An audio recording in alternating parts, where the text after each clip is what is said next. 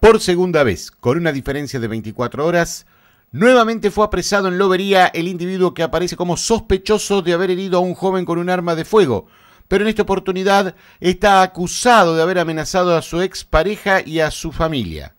Enzo Martínez, de 19 años, alias el buitre, había recuperado la libertad en la tarde del sábado porque la Fiscalía todavía no cuenta con la totalidad de pruebas como para imputarle la autoría del disparo que terminó hiriendo en un tobillo a Maximiliano Adrián José. Violento episodio que ocurrió el viernes por la madrugada como desenlace de una discusión previa que ambos jóvenes habían mantenido luego de disputar un partido de fútbol.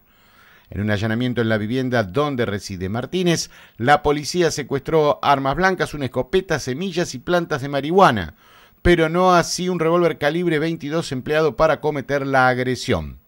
Es válido señalar que la investigación policial se inició de oficio, puesto que la víctima se negó a denunciar lo ocurrido.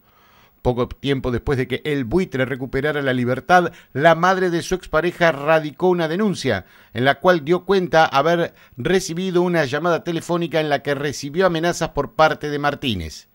Días antes, el padre de la joven también realizó una presentación en la cual lo mencionó portando un revólver con el que efectuó amenazas de muerte para todo el grupo familiar.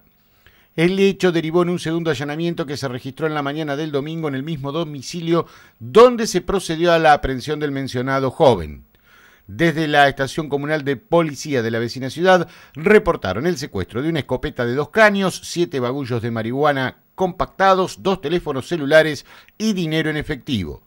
La doctora Soledad Valencia, secretaria de la Ayudantía Fiscal Lobería, informó que se iniciaron actuaciones por amenazas y amenazas calificadas que quedaron en poder de la Fiscalía Especializada en Violencia de Género y una nueva causa, la segunda, por tenencia de estupefacientes, con intervención de la agente fiscal Verónica Pozzi.